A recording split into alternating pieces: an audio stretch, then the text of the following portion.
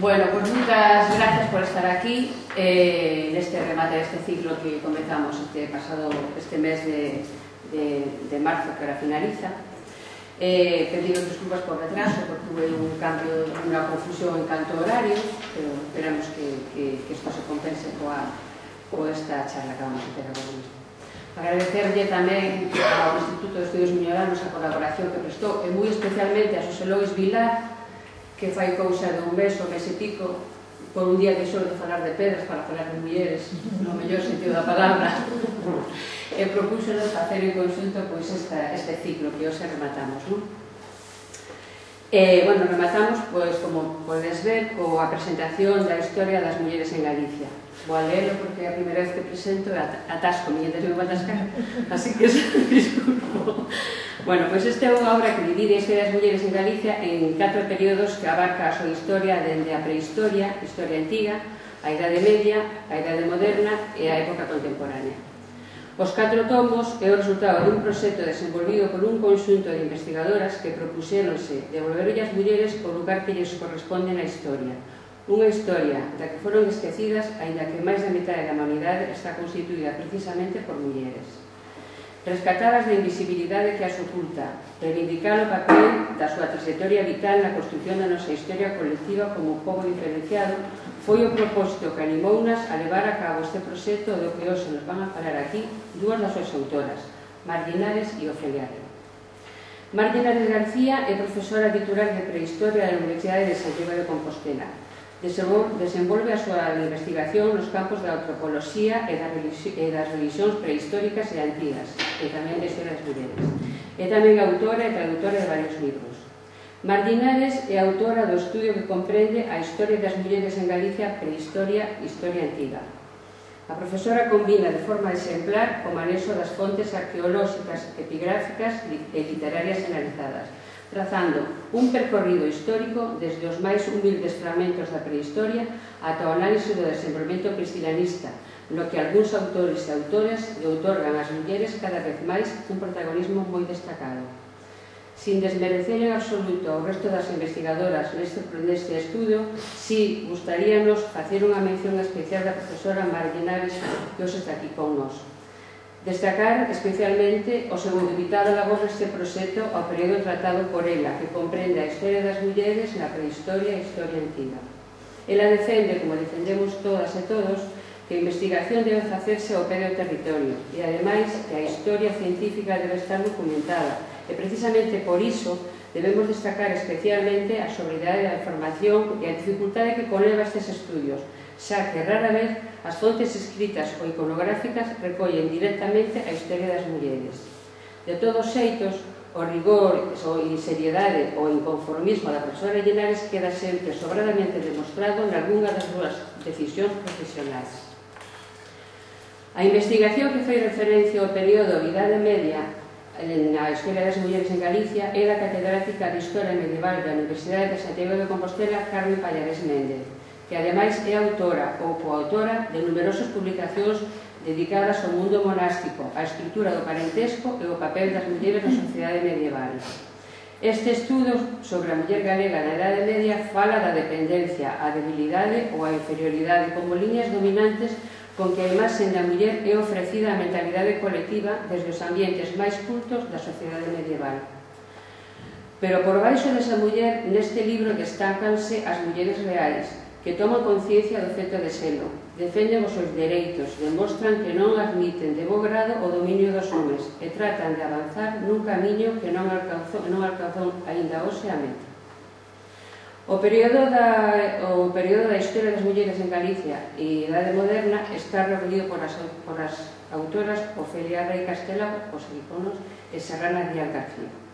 A primeira Ofelia Rey, catedrática de Historia Moderna, e a segunda, Sana Rial, eh, doutora en Historia e investigadora. As dúas na Universidade de Santiago e son especialistas en Historia Demográfica e Cultural e en Historia Social, respectivamente. De forma individual, teñen numerosas publicacións sobre as mulleres na Edade Moderna. As autoras dannos unha visión sintética da trayectoria historia e histórica das mulleres que viviron na Galicia nos séculos XVI a XVIII. Ofelia Ruiz Castelao é catedrática de Historia Moderna na Universidade de Santiago de Compostela na que exerce desde 1978. Licenciouse e realizou o doutoramento con premio extraordinario en ambos os dous casos. Ata agora dirixiu 17 proxectos de investigación como investigadora principal, sendo na actualidade directora do grupo Historia Moderna da, da Universidade de Santiago. Tivemos a satisfacción de escoitala fai casi un mes nesta mesma sala para falarnos dunha Galicia sen santas, monsas e beatas na Edade Moderna, que nos trasladou ao século XVIII para coñecer a Monsiña do Penedo e que nos fixo partícipes da súa pasión investigadora, que tamén lle fixo merecedora do premio María Josefa Bolenbrugen, ou algo que se lle parece, 2011, da Secretaría Xeral de Igualdade da Xunta de Galicia, que valorou, en leo textual, Calidade, rigor e precisión da súa amplia produción científica e a súa capacidade de abrir novas áreas de investigación, cunha obra que abarca temáticas diversas desde a historia social e económica ata a historia demográfica, das mentalidades ou da cultura, destacando as súas achegas ao conhecimento da historia das mulleres. E xa para rematar, o período Historia das Mulleres en Galicia o tomo dedicado á época contemporánea.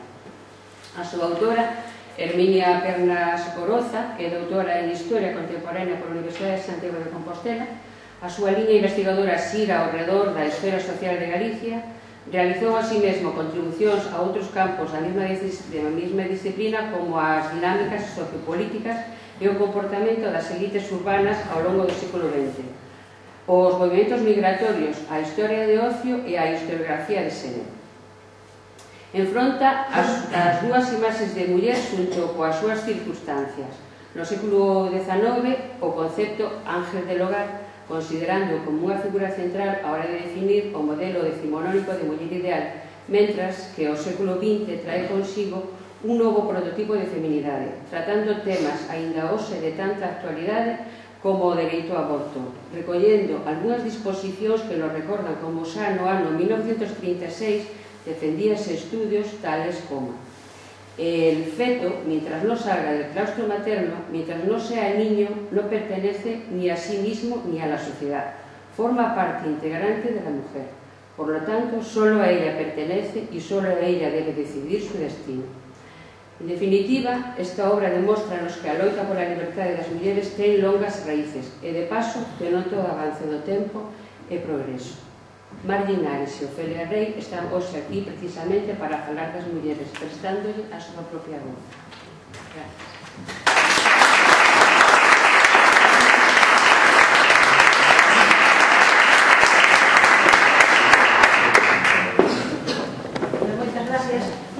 tanto Martínez como eu estamos encantadas de poder estar aquí despois de sobrevivir a anterior visita e para non ser na, especialmente grato poder presentar unha obra na que creemos fornamente que probablemente necesite ser revisada dentro de uns anos, cando a investigación teña avanzado máis do que ata agora.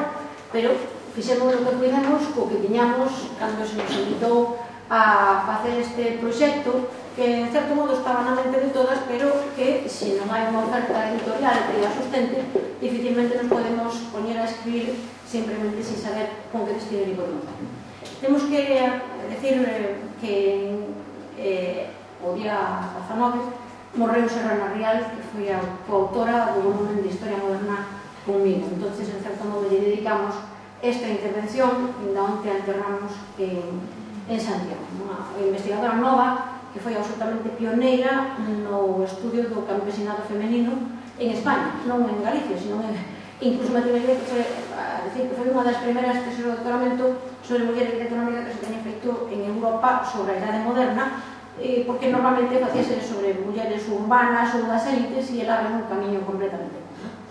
Ben, eh, para ir a, a claro que aquí nos convoca, vou facer unha brevísima presentación para non darlle a palabra a Marlinares e contextualizar moi brevemente a que responde esta obra que entre cinco temos escrito hasta agora. Non? eh, xa varias de nós colaboramos nunha obra anterior que era Texto para a Historia de Galicia, Texto para a Historia das Mulleres en Galicia, que foi unha, unha obra, creo que completísima. Eu estou moi satisfeita do resultado daquela publicación, porque fixemos un esforzo moi considerable e é unha colección moi completa que, ademais, en cada sector temático, creo que está o máis representativo da documentación da que dispoñemos tendo en conta que hai moitísimas diferencias entre a prehistoria e a historia antigua ou a historia contemporánea, porque claro, cuanto máis avanzamos no tempo, máis información temos. Mm, non, como dicía a nosa presentadora, non necesariamente de forma evolutiva, porque o século XIX, por exemplo, é un século moi difícil de estudiar, porque hai valeiros documentais que, por exemplo, non hai no século XVIII, o cual parece un contradictorio, pero é así. Non? Nos colaboramos en aquel entonces e respondendo ao que era xa un, un contexto xeral de Estudio das Mulleres había unha colección de Historia das Mulleres en España e América Latina e no tránsito de, de redactarnos esta obra sobre Galicia saiu esta colección de Historia das Mulleres en España e América Latina que é unha colección mm, boa. Eu participo nun dos volumes con un capítulo moi sinxelo sobre o campesiñado pero sendo boa podemos facer unha crítica basease fundamentalmente en mulleres nas élites e nos desde o punto de vista territorial e de Galicia somos partidarias de outro tipo de historia máis a, o pedo que era as mulleres do común non? a que pensemos así recoñecemos que esta obra é unha obra moi válida entre outras cosas porque deu a coñecer un conxunto de investigacións que, nas que participaban mulleres da universidade e non da universidade tanto de, do, do conxunto español como de América hai que ter en conta que as, as colonizadoras das que nunca se fala foron as que levaron a América un modelo de vida íntegro, desde o que se comía hasta o que se xogaba, ou que se rezaba, ou que hábitos de carácter social, e unha serie de cousas que normalmente non aparecen na gran historia da colonización, se fala sempre de conquistadores e eclesiásticos e predicadores, sino que se fala desta outra historia. Non? A raíz deso, eh, empezamos a, a evolucionar ca, cara a, a redacción desta obra, é verdad que esta gran real e máis fomos invitadas pola editorial Libre a escribir unha monografía sobre as, a historia das mulleres na idade moderna e a raíz daquela foi como o señor deu a idea global No?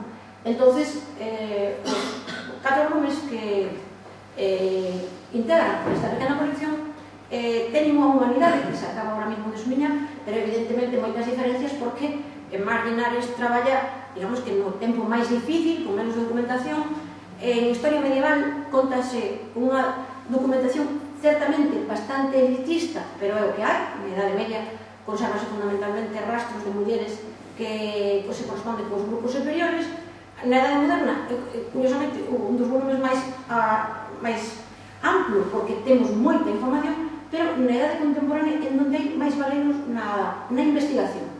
Eh, por unha serie de razóns que sería complicado explicar, eh, as universidades eh, galegas e non galegas enfocado en historia contemporánea cada dos ou tres temas en donde a historia das mulleres prácticamente non cabe.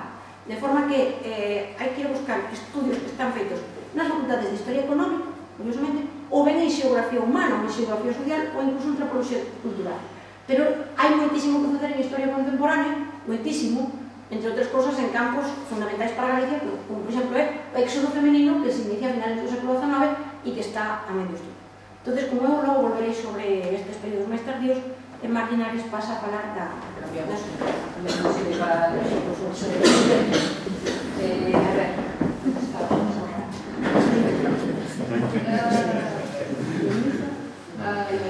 É profesional. As gafas, Aceptamos as gafas. Gracias. Aquí non taxeis, aquí non taxeis. Xa está. A ver, eh, antes de nada quero agradecer a presentación, non teño máis por este sitio, porque non anda mor, pero ben, mal fai. Eh, como, como comentaba, eh, a miña co, autora, eh, a parte relacionada con a prehistoria, a historia antigua, no caso galego, eh, complicada, non? Eh, no, no caso de Galicia directamente nada no, no ámbito da prehistoria non hai fontes directamente entón plantexarme eh, falar da prehistoria das mulleres en Galicia é casi igual difícil que falar da prehistoria dos homens eh, en Galicia non? sin embargo hai cousas que sí que sí eh, se poden decir Eh, esta escaseza de fontes non significa que eh, os textos de prehistorias manuais estean cheos de afirmacións específicas e rotundas de se facía isto, se facía eh, o, o outro. Moitas veces estas afirmacións se fan a través pois, das, dos, eh, dos eh, non sei, das ilustracións, dos textos, non? ou dos diagramas do museu. Trouxe a, a, miña, a, a miña favorita. Eh? Isto é a miña favorita. Eh, é unha parella de homínidos, nin siquiera son humanos, se supón que son australopithecus, eh, de un museo de historia natural. A señora falta o bolso para, para ser eh, unha imaxe típica de parella burguesa que vai de paseo o domingo para mañá. Isto é, obviamente, carga ideolóxica. Carga ideolóxica que non ten nada que ver absolutamente cas fontes eh, para nada. ¿no? Entón, estas cosas hai que ter sempre en conta, non? Porque no caso concreto de Galicia, que se decía, como fontes en unha clase, sobre este eh, aspecto non é posible eh, aplicar ninguna das liñas da historia de xénero eh, que se desenvolve na arqueoloxía na, eh, na prehistoria non hai imaxes, non hai restos humanos eh, co cual bueno, me dirán, bueno, entón que fixeste non? como esta parte, bueno Sin embargo, si hai unha cousa eh, sobre a que se ten escrito moito é que logo ten moita repercusión na historia das mulleres en Galicia, na visión das mulleres en Galicia, que son a suposta existencia de un, eh, de un estadio matriarcal, de un momento na prehistoria que gobernaban as mulleres, eh, eh, encabezadas polas famosas figuras das deusas nai, que ao que máis ou menos nos sonan Non? Entón, os, eh, os autores que desenvolveron toda esta teoría ficticia, non? eh, toman eh, as, a prehistoria como punto, como punto de orixe, mm, eh, sobre todo as figuras femininas famosas, chamadas Venus, que máis ou menos todo mundo ten na cabeza, como a galega, por suposto. Bueno, eh, as, eh, as pegadas, materiais, todo isto, insisto, non é aplicable estrictamente a Galicia, pero sí é un modelo que logo tuvo repercusión, lo que vamos comentar logo da, da historia da historia antigua. No? Eh, autores diversos de comezos do século XX, sobre todo finais do XIX, comezos do XX, elaboraron toda unha teoría complexa Eh, a partir de mm, textos, eh, relatos eh, antigos, non? gregos e romanos, míticos, a partir de as lecturas de imaxes deste tipo, eh? que todos máis ou menos eh, coñecemos, eh, ou deste tipo, que son neolíticas, que a partir de figuras, figuriñas, eh, femininas, eh, paleolíticas eh, e eh, neolíticas, e elaboraron eh, a idea de que eh, un momento da humanidade que normalmente se pon no neolítico para a invención da agricultura, existiu todo un conxunto mm, ideolóxico eh, formado por Gadeu Sanar, gobernante, non? eh, que eh, rexía a fecundidade da terra, eh, a fecundidade das persoas, eh, controlaba eh, o, total. No? Eh, todo isto eh, se, tras, se enseñaba ademais que a idea de que esa eh, esa preeminencia religiosa ou mítica das divinidades femininas se transformaba nun control ou nun dominio eh, das eh, mulleres, un dominio social e político das mulleres, que é que se chama eh, matriarca. Non? Entón, as figuras desta suposta deusa con mayúsculas, van con mayúsculas, deusa, non? eh, estarían por todas partes no período eh, neolítico, non? son deste tipo, eh, un momento, pero tres, eh, en todos os xecementos de Anatolia, na Illa de Malta, eh, na, na zona eh, dos Balcáns, na, na, na Grecia, mm, mm, deste tipo, mm, figuras que se chaman por señor dos animais, eh, de mulleres, representacións femininas aparentemente dominando, controlando eh, animais, ou representacións esquemáticas. Eh, este tipo de representacións que se chaman ollos soles se consideran representacións da deusa, non me pregunten por qué, porque non son capaz de explicar. ¿no? Isto sería quizás a única se aceptamos isto, a única representación eh, no registro galego desaparecido, un pouco de, desaparecido, non, roubado, porque vamos a andar con medias tintas, non? deste tipo de representacións esquemáticas. Se aceptamos que estos son representacións da Dousanai, isto sería eh, a única que se podería encontrar en, en Galicia. Non? Por, temos montado un pouco ese esquema de neolítico, agricultura, eh, fecundidade, deusa, eh, en fin, todo este tipo de esquema. Logo, eh, houve unha serie de autores, autoras sobre todo, eh, que retrotraeron este esquema máis atrás e o levaron ao paleolítico. Eh? O levaron ao paleolítico baseándose, entre outras cousas, nestas eh, tipo de eh, figuras eh, bueno, femeninas algunhas, outras non, pero eh, veremos esta, esta cuestión, para non masculinas, que aí os problemas que plantexa esta interpretación, ¿no? e entón, bueno, pues, no paleolítico, antes da, desde o paleolítico hasta a chegada pues, da, da Metalusia, da Metalusia, entre 40.000 máis ou menos e o 4.000, depende un pouco eh, das zonas, habería pois, eso, unha cultura matriarcal paneuropea que se estendería desde eso, por Anatolia, Malta, Creta, eh, eh, Francia, Irlanda, Península Ibérica, en fin, prácticamente toda. toda. Eh, na súa forma máis exagerada, esta hipotética era matriarcal se caracterizaría por culto a deusa, a armonía entre o ser humano e a natureza, non habería propiedade privada, eh, os rapaces se criaban conxunto, sexualidade libre, non había violencia sexual, que unha especie de paraíso matriarcal, non? onde as mulleres ocuparíamos postos eh, principais, precisamente por ser, por ser mulleres e por esa relación ca deusa a través da capacidade reproductiva, que sería fundamental, os homens, bueno, pois, bueno, se, eran unha especie de nenos, felices, amados, bueno, estaban aí tranquilos, non, sin, sin molestar. Isto é totalmente mental, Bueno, este modelo acabaría desaparecendo por razóns ou, ou ben internas cando os homes se partan dese papel pasivo secundario ou ben externas cando Europa é invadida polos europeos, patriarcales, guerreiros eh, salvaxes, non? Que datos permiten soster este edificio? Ningún. Así de Ahora, tampouco hai ningún dato que nos permita retrotraer o modelo de sometemento absoluto feminino físico eh, a, a prehistoria, non? ningún dos modelos é eh, efectivo. Entón, as vías eh, que establece a arqueoloxía de xénero, a historia, a historia de xénero, para intentar comprender ou intentar recibir cando posible, cando o registro o permite, eh, son outras, non? atender as escalas máis pequenas, eh, cando hai eh, restos orgánicos, mm, intentar ver se hai diferencias de alimentación, por exemplo, entre os restos femininos e os masculinos, intentar ver os, eh, as marcas, eh, os, os, eh, sí, as marcas do traballo eh, diferenciado posible eh, nos esqueletes, no caso de Galicia, é imposible, non? Eh, no caso de...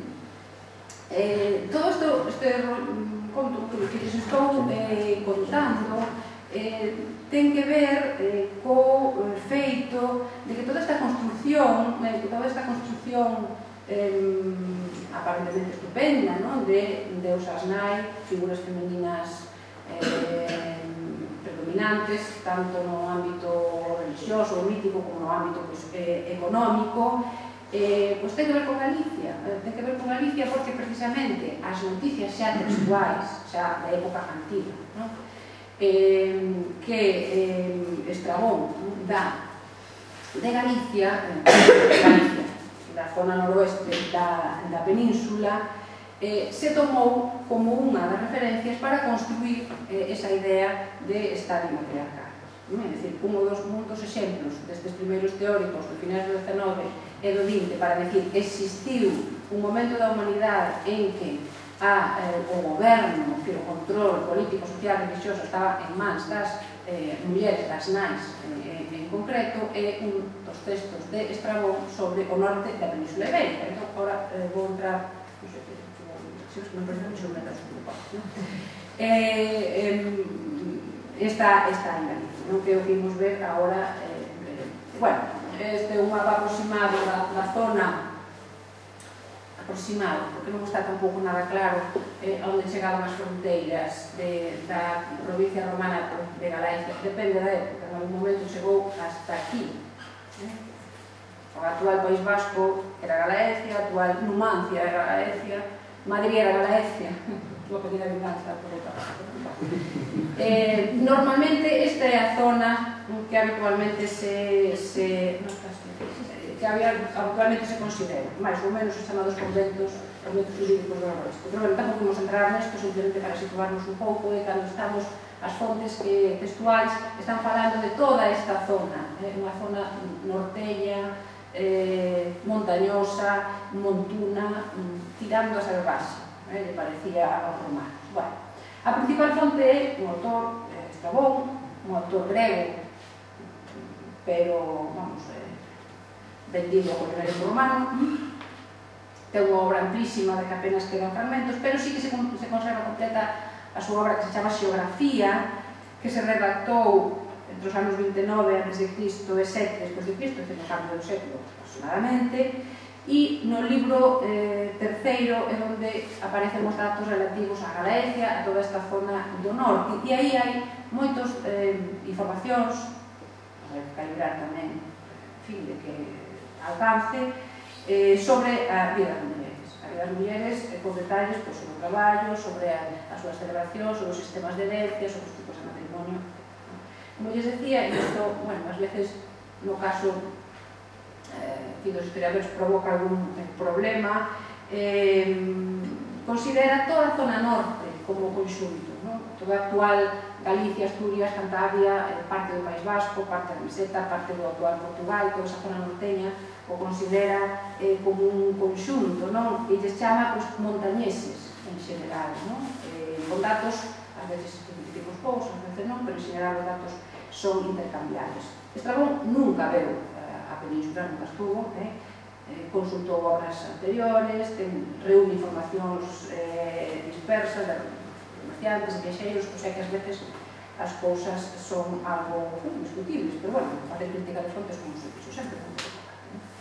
Eh, todas estas noticias e as que veñen despois, que en general os autores romanos logo están tomando, está citando sempre Estrabón, falan do valor, da enerxía, da capacidade de traballo das mulleres eh, do norte, do feito de que participaban en batallas xuntos eh, contra romanos, que deron, deron moita guerra, de feito, tivo que ver Augusto en persona, emperador Augusto en persona, pacificar eh, o norte, eh, porque non daban un feito, os, os de aquí, ¿no? cantan os seus actores, eh, e eh, todas as noticias van un pouco nesta, nesta línea. Non?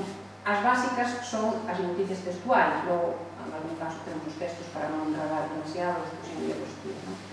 Eh, hai alguna outra, se podía intentar alguna outra cousa, hai textos epigráficos, moi breves, tamén, pero son casi sempre inscripcións funerarias brevísimas, que son din eh, os deuses manes, aquí está a fulanita de tal, o menganito de tal, non?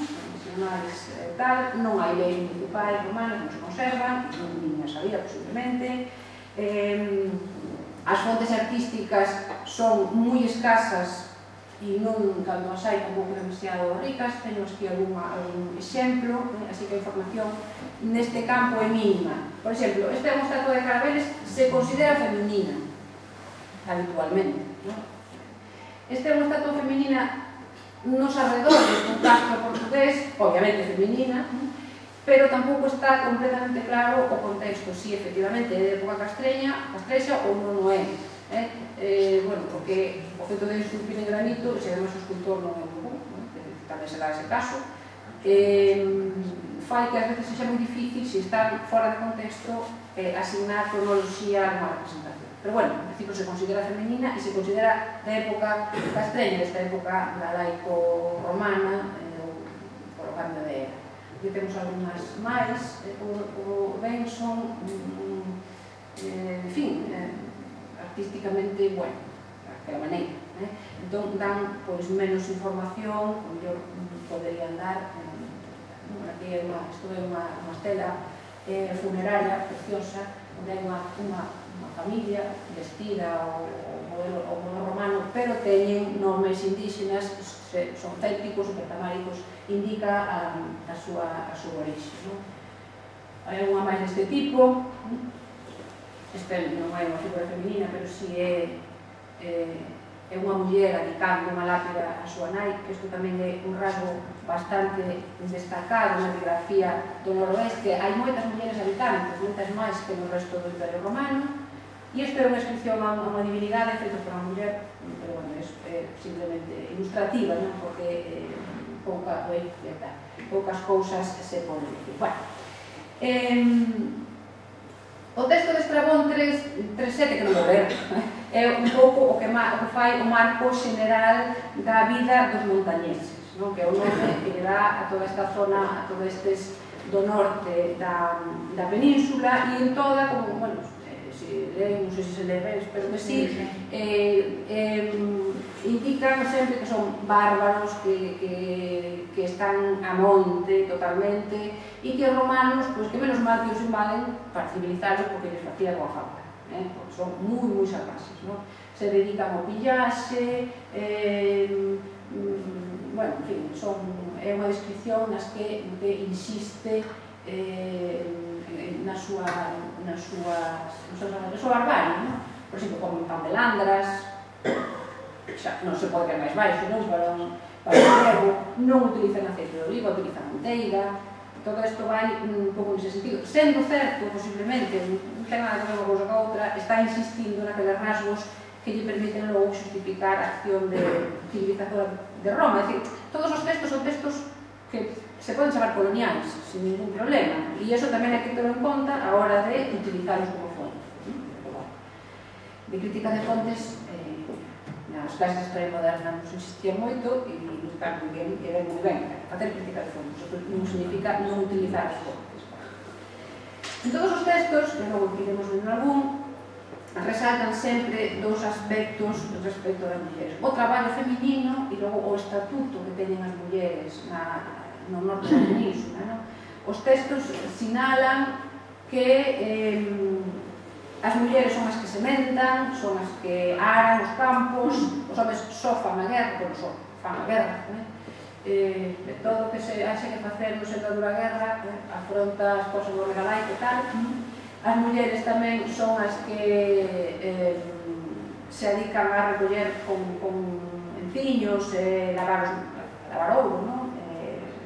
dos metais que traen, que traen os ríos, eh, en fin, todas, todas van neste sentido. Recollín algunha inscripción de época romana eh, sobre Lugo, sobre Estora, que son das eh, cidadela do campamento, do campamento eh, romano, onde se ve lo que hai algún oficio máis ou algún traballo feminino máis, pero apenas. Eh, da época, curiosamente, da, da, da situación, digamos que as mulleres romanas ou romanizadas ou eh, se coñece menos, porque os textos eh, insisten sobre todo na situación eh, das mulleres das mulleres eh, indígenas non, non sabemos prácticamente nada da vida nas cidades de como eran os, eh, os oficios femeninos non hai as grandes propietarias ricas que había, por exemplo, na Bélgica non, no sur eh, de Hispania que pagaban xogos, que pagaban edificios aquí non, non, non, non existen non?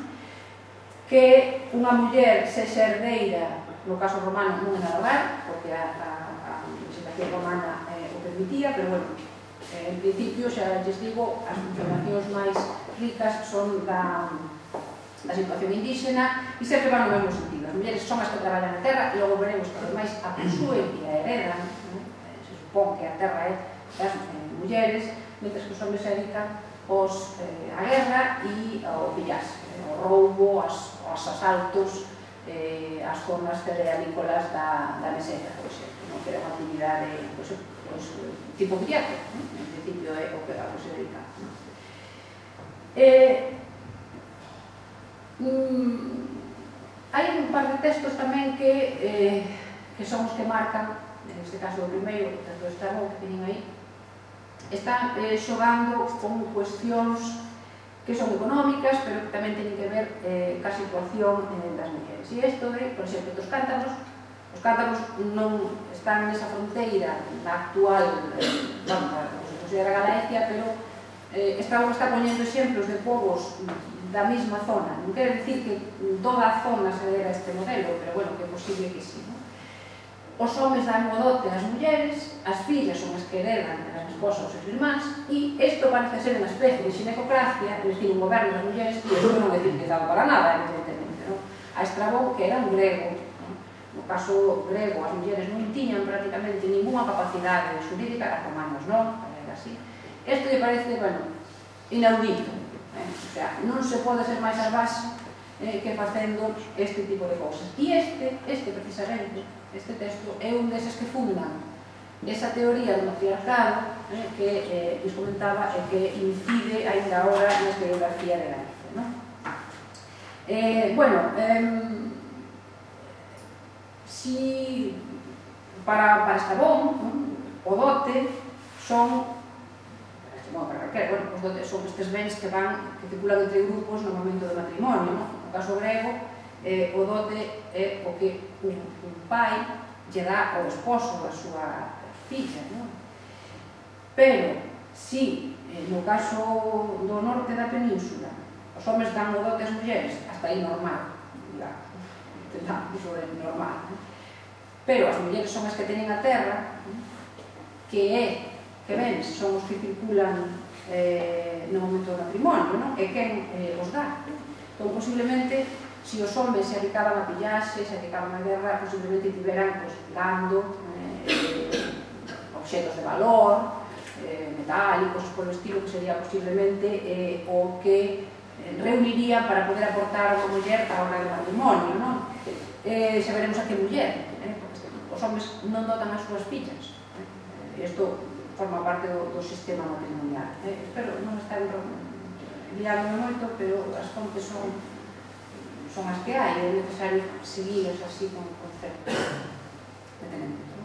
Respecto da herencia feminina, a importancia do, do, do texto do texto de Estrabón é que si nada, pois pues eso, as mulleres son as que teñen a terra, eh, posúen, heredan e transmiten eh, a terra. ¿no? Isto dou lugar a toda unha serie de confusións sobre a importancia económica das mulleres que tivo logo repercusións en toda a historia de Galicia. ¿no? Eh, claro, para o grego como Estrabón, como nos comentaba, que as mulleres posuíran a terra indicaba seguro que as mulleres controlaban políticamente, socialmente o seu, a súa sociedade. Non? Claro, eh, isto é unha lectura eh, que está obviamente moi influída eh, por de onde ven Estrabón, pero as, as lecturas posteriores tamén están influídas por de onde veñen os autores. Claro, no caso da, da Galicia tradicional, no, da campesina tradicional, o coñecido mental era consultar terra. ou fete, ter a terra. No? Claro, se a terra estaba en mans das mulleres e que as mulleres eran as, as, as importantes. Entón, isto todo era unha serie de lecturas eh, e a unha serie de, digamos que de, de transposición eh, de, de modelos mm, que acaban dándolle razón a Estrabón sin ningún tipo de fonte a, a Jones. ¿no? Eh, claro, eh, que pasa ou que podería pasar na Galicia Arte Antigua que habería unha división sexual do traballo entón, as mulleres facían unha cousa traballaban a terra, tiñan a terra os homens se dedicaban á guerra á bandidaxe, a pillaxe, ao roubo non? Eh, o roubo desde este punto de vista non? desde o outro punto de vista son proezas eh, guerreiras masculinas non? entón nos textos non hai absolutamente nada que indique que o poder político estaba nas mulleres nada en unha súa. Non? Entón, claro, posiblemente, o que era prestixioso era ser un guerreiro, non ser un propietario agrícola eh, e eh, ter que traballar, eh, ter que traballar a terra. O prestixio, a posición eh, pública vai proceder ás actividades masculinas, case seguro, pero non, insisto, non hai nada nos textos que indique eh, eh, outra, outra cousa. É a mesma confusión, por exemplo, que se dá en algún autor máis ou menos moderno, cando eh, falando de comunidades costeiras galegas, máis ou menos actuais, eh, eh, falan de, de mulleres que heredan a terra e eh, son nos barcos, non? Non, non, sei, non, non extraño, non? Eso significa que o control público tiene as mulleres, para nada, non? Eh, en absoluto, non? Esta, esa é a, a importancia que se lle dá a terra na concepción Histórica de Galicia fai que se fagan lecturas eh, seguramente eh, Eh, outro aspecto que destaca claramente nas fontes eh, é o referido ao Estatuto das Mulleres, empalmando un pouco enlazando con esta, con esta cuestión, o sea, a súa posición dentro do sistema matrimonial, a súa posición dentro do da sociedade que, insisto, fai que, por exemplo, Estrabón fale de sinipocracia, e que tamén dou lugar a toda clase de tópicos, eh, controversias que ainda agora eh, se escutan. Non? Eh, de novo, eh, os textos de, de Estrabón, eh, que este que estábamos comentando, eh, Catón, por outra parte, nunha nota que se conserva nunha, nunha obra, di que eh, non dotan as súas fillas, dotan as mulleres, pero non as súas fillas, e que as, as irmán, eu teño aquí un problema con irmán e irmán, porque donde son eu e irmán todo o mundo, todo o mundo vai que é masculino e feminino. Eh, as irmás dan dote aos irmáns, non? as mulleres dan dote, ou ben, non? Eh, que implican todas estas informacións? Bueno, eh, implican primeiro que os acordos matrimoniais seguramente se farían entre mulleres ou grupos de mulleres. Non sería un home mm, negociando con outro varón eh, para casar os seus respectivos fillos, non? Segura, bueno, seguramente, cinco que se pode, se pode non? eh, serían mulleres ou grupos de mulleres eh, os que negociarían para, eh, para efectuar eh, os matrimonios. No? Eh, é posible un sistema matrimonial deste tipo? Pois sí, ¿eh? o que pasa que tamén temos, nos faltan moitas informacións eh, como mm, a terminoloxía do parentesco, si os matrimonios eran na casa ou fora, por utilizar unha terminoloxía parecida á de Galicia, eh, a Mellendo Gambia, a Gambia, todo eso non coñecemos eh, a situación eh, entón posiblemente esteamos falando dun sistema de filiación matrilineal quizás eh, non, non, non matriarcal eh, non? senón matrilineal, é dicir, unha importancia das liñas femininas eh, sexa, pois, obviamente, máis grande que no caso grego, eso sin dúbida, non? Eh, eh, acabou. Non? Eh, en fin, eh, as eh, as, eh, as, todo isto que te estou contando así brevemente eh, eh, influe, influe logo unha visión que aínda eh, agora, eh, a todos os que nos habitamos a estas cuestións, nos preguntan, non? Pero Galicia é un matriarcado, non? Agora, non? E dices, non. Pero estrabou eh, e hai supervivencias e todo isto son herencias matriarcais e dices, non, non? tempo están eh, por exemplo, este é un texto moi bonito de Ramazán onde eh, as, eh, están resonando todas sacamos donde están resonando todas esas eh, lecturas non eh, derivadas de, de Estrabón todas esas noticias que logo se transmitido como tópicos non? De, pois no norte as mulleres son tremendas, non? Xa que ir a guerra van a guerra, morren, matan os seus fillos antes de ser un eh, esclavas, eran as que traballaban, eran as que eh, as zonas da terra, eran as que parían, eh, eran os homens os que se metían na cama a cuidar os, eh, dos, dos recién nacidos, que, que, que se chama cobada e que tamén estrabón eh, eh, o recolle. E están aí empalmando todos uns tópicos que, mm, que, que, que enlazan co feito de que, obviamente, as mulleres en Galicia son visibles, sempre foron sempre traballar, Non é ese modelo de muller burguesa metida na casa que eu comentaba antes, Ofelia, que lastra completamente eh, moitas das visións, eh, das visións mesmo da, da historia, de historiadoras de, de xénero, eh, senón que as mulleres estaban visibles, eh, se, se vían. Eh, pues, a modo de anécdota, de anécdota, meu pai era murciano, e a diferencia era abismal, non? de estar eh, a, as mulleres da, da miña aldea activas, actuando en público e tal, e as mulleres da, do povo do meu pai salindo con carabina nos anos, nos anos 60 e pico eh, porque non, as mulleres non podían sair só non? Entón, eso é moi eh, eh, um, moi chamativo cando os modelos de explicación se construen sobre este tipo de sociedades onde as mulleres están pois, máis metidas nas casas ou, ou menos, ou menos sitios que agora enlazan un pouco bueno, estou eh, en fin, eh, mm, por eh, motivos de tempo, que se alguén quere facer unha pregunta, lle podo aclarar unha cuestión ou lle podo deixar a, a presentación, os textos, se, eh, se les interesa, e pasamos un pouco cambiar a espera de presidenta, pero non tienes isto máis que xa. Vale, ahora vamos a cuidado, cuidado.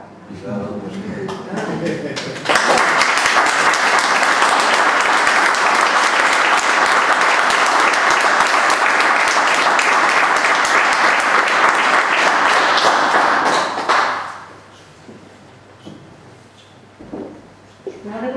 parte de, de historia, prehistoria e historia antigua é moito máis meritoria que a de historia medieval ou de historia moderna, non? porque e, cando as modernistas se queixan de falta de documentación, eh, eu sempre, bueno, penso na, no, en prehistoria e historia antigua, e incluso historia medieval, non? porque eh, comparando co, co que pasa na Edade Moderna cos os períodos anteriores, eh, ollo, eh, temos que decir que o século XVI ainda é moi difícil de estudiar e temos, canto máis tarde, máis documentación, pero non necesariamente millor, o século que o ACA te ten excelente documentación, que pasa que eh, de condicións moi específicas e gracias á documentación fiscal cando o século XVIII dá todo o que ten que dar de sí, no? e por eso somos moi deudoras do que no XVIII se desenvolve por parte do Estado moderno. No?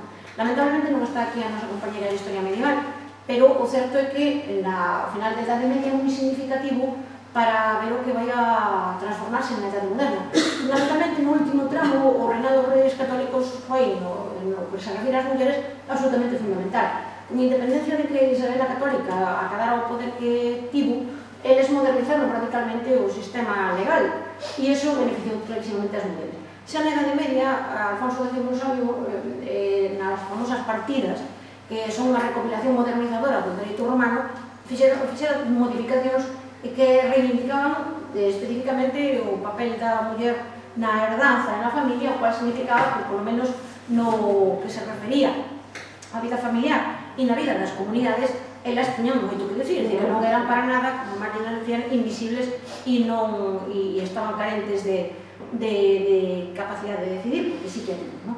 Pero sí que é certo que a finais do século XV a renovación legislativa é mm, eh, unha serie de modificacións que están claramente a favor das mulleres. Creo que xa na outra ocasión que estiven aquí eh, fixen mención de que en 1505 as famosas leyes de toro deixan definir un sistema de caza que prácticamente o que temos hoxe a coa diferencia de que no Código Civil de 1879 fai unha serie de modificacións que creéndose que iban a beneficiar as mulleres perxudicarnos clarísimamente, non? Pero, por tanto, a nos que nos interesa é esa lei de 1505 que regula o tan fundamental como o papel das mulleres na familia.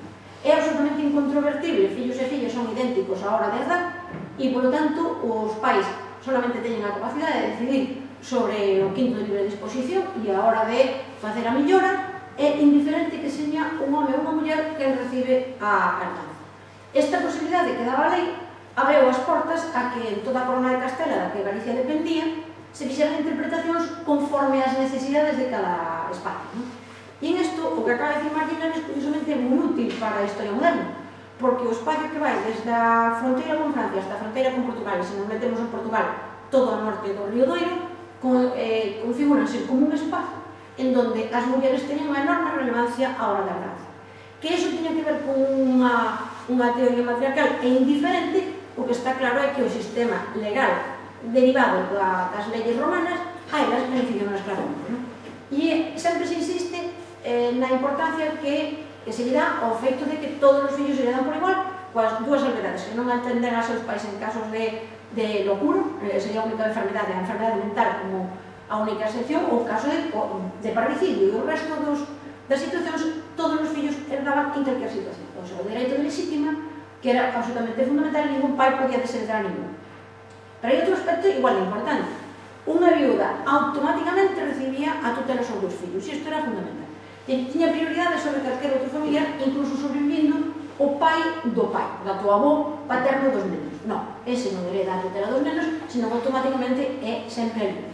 Terceiro elemento, a dote, que é tan importante, non era obrigatoria, era voluntaria. E hai zonas onde se dá e zonas onde non se dá. Hai sempre a, a tendencia a pensar que as mulleres recibían dotes sistemáticamente e iso non, non ten por que ser así. Dotes podían recibir as os homens, o dereito romano non permitio, E na idade moderna nós estamos fartos de ver dotes que se daban a homens, non a mulleres, non necesariamente. E as dotes non eran sempre para casarse, senón, por exemplo, para entrar en religión.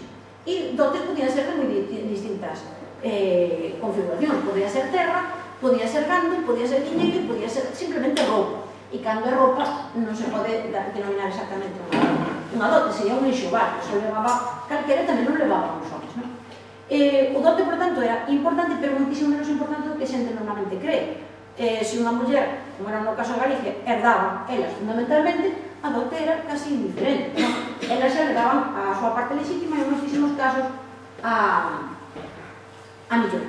Ben, por tanto, digamos que a Edade Moderna marca un cambio legal que, sendo de raíz medieval, abre unha serie de posibilidades que a sociedade supo aproveitar eh, decía Amar, en Murcia, en Murcia o sistema era completamente diferente.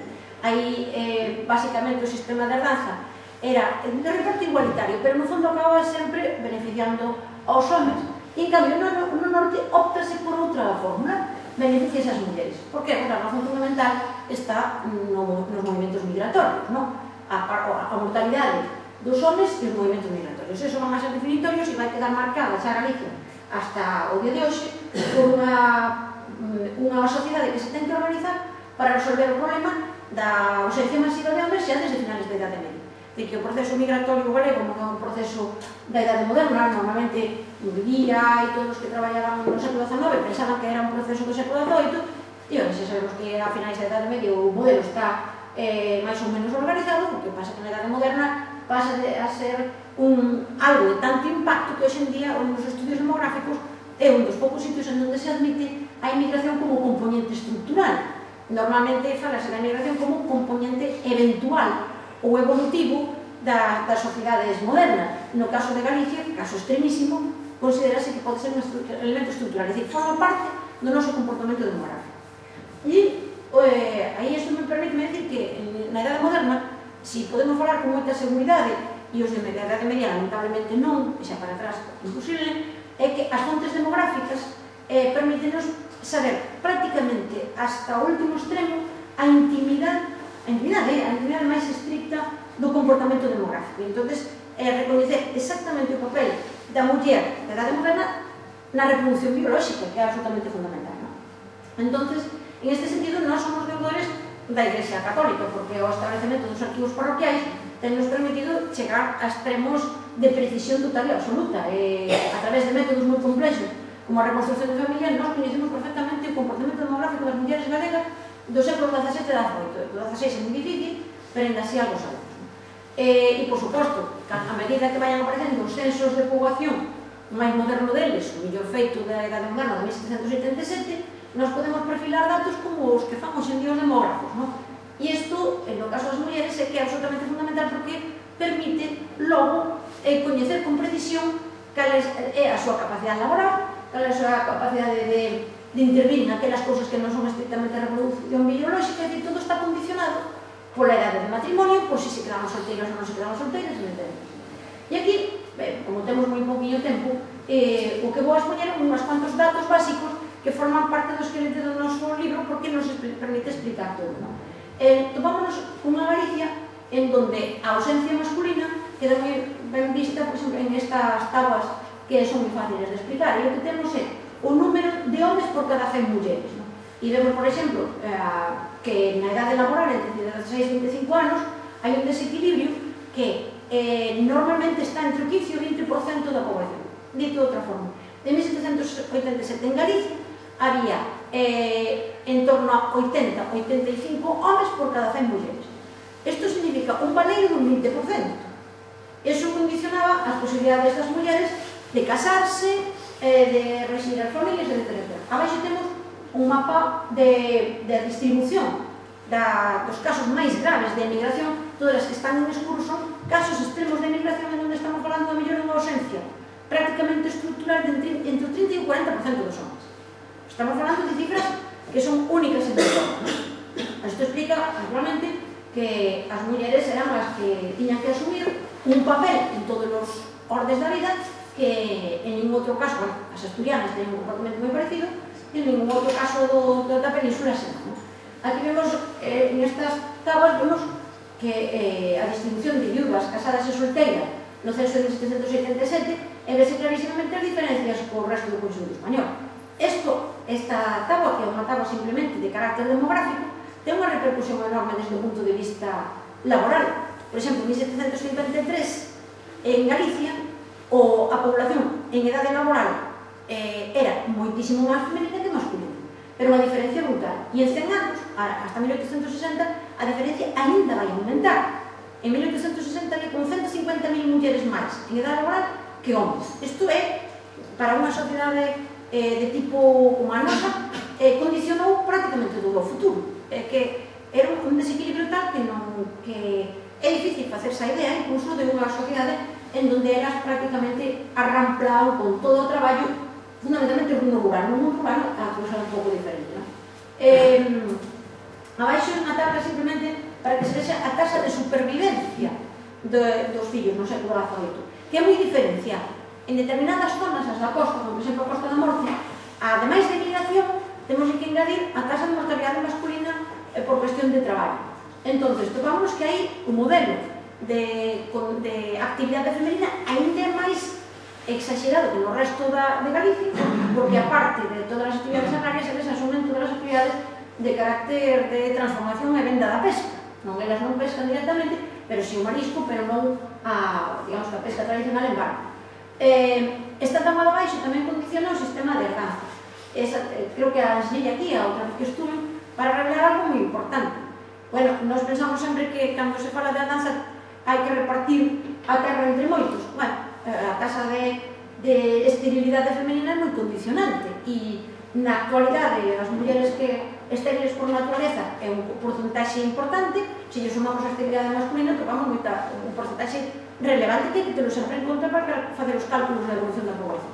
Bueno, na idade moderna temos que ter en conta que nós eh, dificilmente podemos facer un cálculo moi preciso da esterilidade femenina. Simplemente damos conta daquelas mulleres que nunca chegan a ter fillos, que é un concepto un pouco diferente, non? Porque abortos espontáneos, non nos podemos controlar, pero en calquer caso sí que podemos saber, ao final dun ciclo dunha familia, aquel número de mulleres que, ou matrimonios que nunca chegaron a ter fillos. E é unha porcentaxe elevadísima eh, por, por exemplo, na zona da Costa da Morte, un 27% das, das parellas nunca chegaron a ter fillos ou os fillos non chegaron a prosperar. Con un solo fillo, un 10%, con unha sola filla, un 3%, e así podríamos ir todos estes exemplos que son todos diferenciados e que logo condicionan a familia a hora de escoller. Por tanto, moitas veces cando se di é que na área tal de Cangas de Morrazo as mulleres levan a maior parte da herencia. É que non hai outra cousa. É donde non se pode escoller a, a, o número de familias en donde había os dous sexos é moi curto en todas as partes, 25-30% que é unha. Que máis sabemos de Galicia? Bueno, sabemos moitísimas cousas. Creo que este dato que se ven aquí, o, o Galicia se caracteriza como o resto de, do norte eh, da península por unha idade de matrimonio moi tardía, moi, moi tardía. Eh, estos son medias estadísticas. Eh, ese modelo número 1 que aparece aí arriba é o modelo mayoritario en Galicia, Galicia Occidental, eh, a idade nupcial media femenina eh, a finales do século XVIII era de 25,4 edade media. Isto significa que aí estemos un cálculo teórico que se fai a partir dun censo en donde non se ten conta as, as, os viúvos que se casan entón normalmente se casan con mulleres de solteiras de edade máis avanzada que as outras. Se collemos todas as solteiras máis todas as eh, solteiras que se casan con homens viúvos a Edade Media elevas. Por exemplo, na zona de Terra de Montes, eh, a, a idade de matrimonio das mulleres estaba en torno a 30 anos, no século XVIII, aquí onde estamos estaba en torno a 29-30, e de onde son no, a Val da Ulla, 28-29 anos de acceso ao matrimonio. Por tanto, as mulleres galegas casábanse moi tarde, moi tarde, e, por tanto, isto significaba que teña un ciclo vital moi corto. O modelo estaba tan generalizado que incluso nas élites eh, en Galicia hai un modelo de edad tardía e aquí non había un problema económico. As ricas non tiñan por que retrasar un matrimonio por razón de, de económica pero en cambio o modelo está completamente interiorizado e xeneralizado e entón tanto as ricas como as pobres se casan a, a unha edade moi avanzada claro, canto máis pobres, máis tarde se casan. E en este caso elas eh, hasta finales do século XIX tendían a ser a hora do matrimonio tres ou catro anos maiores que eles, unha unha cuestión de organización social que ten a súa lógica. Aquí temos en este mapa moi marcado as áreas máis eh, características de matrimonio tardío e celibato definitivo. Un, un dos elementos fundamentais do comportamento eh, matrimonial galego é a enorme taxa de mulleres que non chegan a casarse nunca. O máis o caso máis do conxunto español, a taxa máis alta. En torno ao 20% das mulleres que non chegan a contraer matrimonio nunca Porque claro, entre a mortalidade masculina e a emigración masculina, as posibilidades de casarse reducíanse ostensiblemente. Non? Ben, eh, cando tiñamos eh, que organizar un matrimonio, dadas que as características de Galicia eran moi peculiares, eh, pouca terra cultivable con respecto ao conxunto da terra que temos, porque por as nosas características agrolóxicas, Galicia ten terra boa, pero hai que ver onde está, e a segunda característica que as explotacións agrarias moi pequeninas, canto menos se controlaba o matrimonio, maior división da terra había que facer. Entón, na Edade Moderna, cando se define un modelo, que se aprovea en certo modo da Edade Media, pero na Edade Media a presión demográfica era menor, un modelo moi, moi complexo de control de acceso ao matrimonio. Para evitar repartir a terra, primeiro, un cupo de homens e de mulleres non se casaba nunca, van a ser esos solteiros e solteiras definitivas, e logo, os que accedían ao matrimonio accedían tarde para evitar que tuveran eh, reproducción inmediata, E a máis deso había unha serie de fórmulas como o matrimonio alberti e a alta casa de consanguinidade. Non? O matrimonio alberti que, que vai a impoñerse no século XVIII en determinadas áreas en donde era, trataba de combinarse eh, casas en donde había un irmán, bueno, neno e nena, e noutra casa, outros dous neno e nena, concertabas un matrimonio ante notario e chegabas a un matrimonio alberti que evitaba a herdanza. De feito, o que se conseguía así era sumar dúas herdanzas. E o mesmo resultado que se casamos primos, entonces en donde non había matrimonio treco había consanguinidade e a veces en casos moi extremos había os dos cursos tempo. por exemplo na zona de Bastavales e na zona de mm, da Ulla que é o que están aí tanto as proximidades de, de Santiago o crecemento demográfico foi tan forte que se utilizaron os dous sistemas ao mesmo tempo no caso daqui abaixo da frontera con Portugal hai que añadir un principio tamén de prevención contra Portugal, de forma que non se contraían nunca matrimonio con, con portugueses e eso limitaba bastante o mercado matrimonial, non? Entón recurríase a consanguinidade e os matrimonios entre primos chega un momento no século XIX que chega a ser o 60% dos, dos matrimonios que é un caso inaudito porque isto ni siquiera os antropólogos norteamericanos que nos teñen estudiado tamén ese tema logran dar unha explicación porque todo tiña que ter un límite Pero é que hai determinadas cousas que unha vez que funcionan convirtense en isto Entón, a veces, a mellor xa non teñen unha justificación histórica, pero está impregnados no noso romance. Outro elemento definitorio da Galicia e que ten a raíz metida na, na, na edade antigua é a organización familiar. Aquí neste mapa eh, que se pode eh, facer a partir de, do catastro de la de 1753 nos definen dúas, dúas Galicias completamente diferentes. Esa Galicia que está no escuro, que é a Galicia máis tradicional, que é a Galicia troncal, en donde conviven dous matrimonios na mesma casa, e o resto de Galicia que é a Galicia nuclear, pai, nai e fillos, familias moi pequeniñas, de 3, 3,5 personas por fogar, e que é o modelo que nos caracterizamos. Nunca a convivencia de dúas generacións, que é un proceso que se vai formulando no século XIX conforme as condicións económicas eran peores. E cando unha sociedade se organiza ou propende a organizarse, reunindo movemos hoxe día na crisis, na crisis non? Eh, reunindo xente máis xente a mesma casa, isto é sempre un movimento de crisis, nunca é un movimento de expansión económica. Entón, no século XVIII temos dúas familias, eh, dous modelos familiares clarísimos, na familia troncal da zona de Lugo, utilizase o sistema de herdanza a favor do fillo maior, sea nena ou nena, e nos outros casos, millora corta fundamentalmente a favor de mulleres. Non? Ben, eh, ainda recibindo a lexítima, as mulleres soían eh, levar unha dote que podía ser dado polo pai ou polo mozo. Eso dependía das zonas ou construída por elas mesmas. Dicir, ganada con traballo. Non, non tiña por que estar esperando que lle dera o pai ou a nai, senón que eh, elas traballaban como criadas, como se casaban tan tarde, podían ir ás cidades a traballar como criadas, traballaban como xornaleiras no mundo rural ou traballaban na industria textil, e iso permitía unir un, unha adote Aquí vemos en esta etapa que conforme pasa o tempo as dotes son cada vez máis pobres. Que é algo tamén moi digno de ter, ter, ter en conta porque xa cando chegamos ao 19 xa non digamos o 20 o que van a levar as mulleres é fundamentalmente o básico da casa na non? Aí vemos como a principio do século XVIII ainda son bastante las dotes que levaban gangue e ao final do XVIII non eh, o 29% dos casos non? e rentas, dinheiro e xa non digamos terra terra, terra moi pouquiña, porque normalmente o que se recibía era través da, da raza. Unha das facetas que estudiou Serrana Rial e que foi máis sorprendente foi a capacidade das mulleres como propietarias da terra. Dado que elas heredaban e a lei as amparaba, elas compraban, vendían, arrendaban, aforaban, igual exactamente en pé de igualdade cos homens. Naturalmente, nós conservamos fundamentalmente documentación das libras e das solteiras.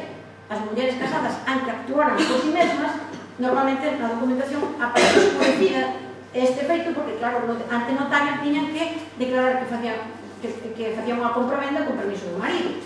Era, eh, era, era un tecnicismo, pero un tecnicismo importante. ¿no? Cando estaban viendo as materias cando as podemos controlar. ¿no? E, por tanto, vemos que elas tiñan unha actividade intensa, podían reunir eh, un patrimonio maior ou menores, ou dependendo de, do que heredaran e do que lograran traballar, e topámolas moi activas no mercado actual. O mercado da terra, sobre todo, porque a medida que, que se foi incrementando a emigración, elas, por unha banda, compran o dinheiro propio do que heredan ou do que ganan, pero tamén por cartos que traen ou lles mandan os maridos desde a emigración. E que aparecen como vendedoras ou eh, compradoras de señas solteiras casadas ou viúvas, que é o que significan aí esos signos, non?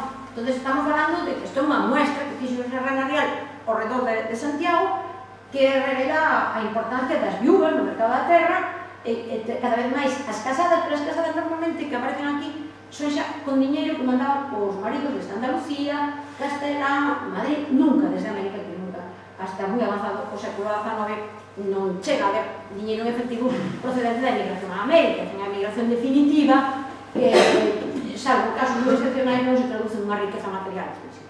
Por tanto, o que non hai que asociar nas galegas é coa imaxe da vida cotidiana que eh, tanto insisten as nosas colegas de fora de Galicia en establecer para as mulleres.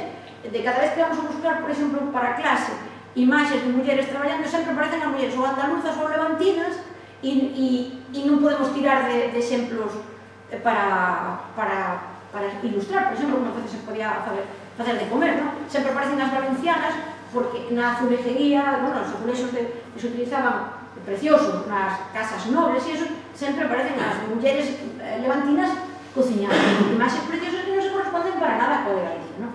Entonces esta pobreza destas cociñas de moi típico museo etnográfico revela moi ben o que eran e estas se me parecen bastante boas comparado co que nós vemos na, na Outra cousa que nós eh, subrillamos moito no, en Galicia é que para nada admitimos falar de galegas en conxunto, sino das enormes diferencias que hai entre zonas. Non? Que significa xestionar unha casa no caurel? Non? Poñe a palla do tellado, porque dentro non hai un mínimo de comodidade, non? Estas outras casas da área lubresa, en donde a casa ten unha certa eh, configuración, a relación entre a muller e a casa é completamente diferente. Esta foto daqui da dereita me gusta moito porque é moi reveladora do que o espacio femenino galego tipo. O sea, as casas Pero o que é máis importante, a horta e o millo e, por tanto, todo o que elas controlaban directamente a parte de facer os textiles e as cousas que elas facían. Que mundo tan diferente, isto tamén son mulleres rurales. Aí temos a casa de Rosario de Castro e o Pazo de Oca, non? Mulleres rurales era, bueno, porque estaban, pero non eran, non? Son mulleres que non, o sea, son barreiras radicais entre un caso e outro, non? Existimos nas diferentes en que non ten nada que ver a muller das áreas de millo coas áreas de viñedo coas áreas do cultivo de rozas. Na zona de Lugo, en donde se cultivaba por rozas, as mulleres non interviñan na roza do monte, nin na queima do monte, solamente traballaban no momento en que se sementaba o millo, o centeo, o trigo, o que fora, e logo na collida. Son mulleres máis domésticas, curiosamente, que as do Occidente. Cando se tiñen as do Occidente máis zona de ser máis máis ou menos de casi para nada, porque as do occidente están sempre fora da casa, son as do oriente lucenses que están aí Bueno, nas, nas cidades en donde topamos maior diversidade eh, laboral, e no caso de Galicia, unha tasa de actividade femenina moi alta, comparativamente alta, no? Eh, eh, temos, bueno, aí arriba hai unha tabua xeral das dedicacións eh, laborais globais eh, fundamentalmente tecelanas, palilleiras, costureiras, ollos, tanqueiras, taberneiras, que eran moitísimas, panadeiras e comerciantes. Non? Por tanto, están metidas en profesións moi diferenciadas. Esta é a distribución da participación femenina nas actividades textiles. Aquí solamente se aparecen neste mapa as que teñen prácticamente o tecido como actividade exclusiva, non como complementaria da agricultura. Non? E sabemos que son mapas moi, moi intensos de actividade. Non? As estanqueiras e taberneiras, que era prácticamente en toda Galicia, era un, un tipo de dedicación casi exclusiva femenina. O estanco de tabaco, que era un por parroquia, ou as taberneiras, que normalmente tamén estaban controladas desde o punto de vista oficial, había un certo límite, e normalmente era en función da poboación, e había, polo xeral, unha taberna por parroquia, porque, por, porque había un control fiscal sobre o viño, non era por outra cosa, non? E, aparte, a autoridade necesitaba saber onde estaban as tabernas porque soían ser espacios, evidentemente, de sociabilidade algo que vos. ¿no? Eh, na costa hai que engañar todo o que se refire aos traballos do mar, é dicir, que non solamente o, o que se atinxe exclusivamente a preparación de, de peixe ou a fabricación de redes, é que a industria textil eh, máis sofisticadas, en caixeiras, por exemplo, non se corresponden ca zona interior. No interior hai tecido moi abundante, pero textil sofisticado, este encaixe, que hoxe en día as conservas a Santa María, que se eh, Pontevedra sobre todo, que, por exemplo, estas tábuas urbanas son moi interesantes, porque no caso de Pontevedra, as criadas non son o sector laboral fundamental do mundo urbano, sino que son as, as, as palilleiras e as redeiras. Entón, aí, a tasa de, de actividade femenina en moitos sitios está condicionada no mundo urbano polas criadas, pero que sepamos que non eran criadas en moitos casos as máis importantes no caso de Betanzos eran as comerciantes, no caso de Pontevedra eran as, as e palilleiras, no caso de Bayona as calceteiras, fundamentalmente. No? Ben, hai certos espacios en por ahora estamos bastante pouco integrados. No? Decía antes Mari moi inteligentemente, unha cousa ter o control da propiedade da terra, outra cousa ter o control do traballo e outra cousa completamente diferente ter o poder. Aí está clarísimo que cando eh, as nosas, eh, bueno, a, os nosos, nosas lectoras e os nosos lectores de fora de Galicia se quedan un pouco pasmados co modelo que presentamos, eh, automáticamente identifican que o ser herdeiras prioritarias, o ser cabezas de familia, na mirande parte dos casos, o ser eras as que controlan o que se fai ou deixen de facer na casa, identifican un poder fora da casa. E é unha, unha ecuación totalmente falsa. Ni siquiera nas cidades onde as mulleres, desde este punto de vista, podían ter algo máis que decir, ni siquiera nas clases superiores, en donde as mulleres, vemos que podían ser, por exemplo, señoras de un señorío, porque herdaban exactamente igual que eh, un irmão, ni siquiera en esos espazos se pode falar un poder femenino eh, recoñecido legalmente. Outra cosa que tuveran un poder subjetivo. Eh, no libro que de Samara María de Mesa, eu, eh, falamos un pouco das gobernadoras, que era a primeira vez que, eh, que se falaba de que en Galicia a primeira autoridade era o gobernador Capitán Xeral, ninguén se preguntara se si viñan sempre solteiros, non? E non, claro que non, viñan casados, non? E de feito, este palacio de capitanía que se, que se construe en, en na Coruña no século XVIII e que representa a monarquía en Galicia, se construye, construía o gobernador que estuvo máis tempo vivindo na Coruña casado con fillos. Por tanto, que, eh, que esa muller de, do Marqués de, Marqués de Croix, que era neste caso o, que, o capitán xeral, chegou a construir unha pequena corte, a imitación da corte de Real, en unha cidade que era representativa do poder real, onde estaba a capitanía xeral, a audiencia real, o goberno militar, e esta muller era, sin somos a forza de, de, de ser realistas, a muller con máis mando en plaza en toda Galicia, a que normalmente, claro, eran foráneas, non eran galegas, sino que eran moi foráneas. Ao lado delas, a, as mulleres dos oidores da Audiencia de Galicia, dos suizos, por tanto, do Tribunal Supremo de Galicia, eran mulleres que tiñan unha importancia enorme nunha cidade como era a Coruña, pero fora da Coruña tamén. Eh, López Ferreiro conta os conflictos que había en Galicia, e, perdón, en Santiago de Compostela, cando as mulleres dos oidores, dos señores oidores da Audiencia de Galicia, chegaban o 25 de xulio a, a celebrar o patronato de, de, do apóstolo Santiago, no? creaban un conflicto de, de orden ceremonial porque todo o mundo sabía onde había que poñer ao clero, todo o mundo sabía que había que poñer a nobreza, pero onde se poñía a señora representante do rei e a representante e a, e a representa, as señoras representantes do poder judicial. Entón, os conflitos eran extraordinarios, elas tiñan moi claro que elas tiñan que poñerse antes de todos os demais. ¿no? Entón, a solución era ser unha solución de, eh, a media tinta, bueno, poñemos uns estratos, uns máis altos, para que a xerarquía quedara ben claro. As abadesas de mosteiros xigantescos como San Sampaio Antaltares eran verdadeiros poderes eh, que comandaban señoríos importantísimos e que controlaban economías de primeira división. Mari Carmen Pallares revela moi ben na súa obra porque as abadesas dos mosteiros e conventos eran mulleres procedentes da nobreza e da fidalguida que reproducían o seu modo de vida nos conventos e mosteiros e, por tanto, o mesmo poder que tiñan fora teñeno dentro acrecentado polo feito de que dentro destes mosteiros non hai homes. Entón, son elas as que teñen un radio control. Non? E, bueno, outro día falaba desta señora que de María Antonia Pereira do Campo que fora de que de forma eh, digamos que un pouco ñoña se a chamar a Moixinho do Pinedo vimos aquí outro día para que estuveran que era unha muller que chega a acumular un enorme poder ideolóxico e cultural que ten como representación esta, este convento de Santiago. Eh, todas estas mulleres de conventos e mosteiros tiveron un, un poder moi considerable hasta a desamortización que as fai desaparecer. Non? Ben, para rematar, dos campos que, que estamos peor informados, que evidentemente son aqueles que se refiren á cultura, porque a cultura femenina ata hoxe en Galicia fundamentalmente oral e verbal. Eh, sucede tamén cos homens, pero unha parte dos homens máis ampla que das mulleres alfabetizouse xa desde o século XVI moi lentiñamente, que o século XVIII eh, aumenta moi ostensiblemente a tasa de alfabetización masculina porque se consideraba que era moi positivo que os homens aprenderan a ler e escribir para emigrar, non, sei, non deixaba de ser unha, un contraefecto, pero precisamente a emigración é a que deixa fora as mulleres da posibilidad de escolarizarse. Entonces, eh, a finales do século XIX Galicia tiña a taxa de analfabetismo femenino máis alta de, do conxunto español e a taxa de analfabetismo masculino máis baixa do conxunto español.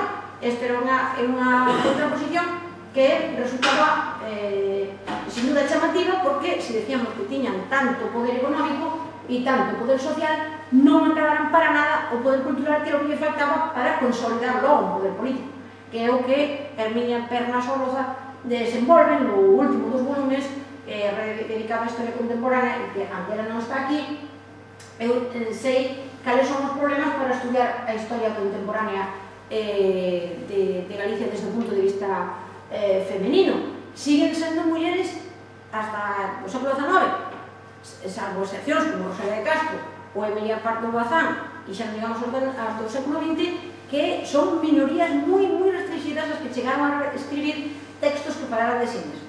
entonces é, é, o problema dos historiadores eh, de todas as épocas é a tradición oral. E a tradición oral eh, vale para o que vale. Poden, algúns test, algúnas testemunhas poden ter alguna relación vaga coa, co pasado, pero non por iso hai que darlle maior credibilidade que ten hoxe en día a información oral. É limitada e utilizámola cando non nos queda máis remedio que eh, decir algo para eh, escapar de eso que nos horroriza aos historiadores que deixar valer. Non?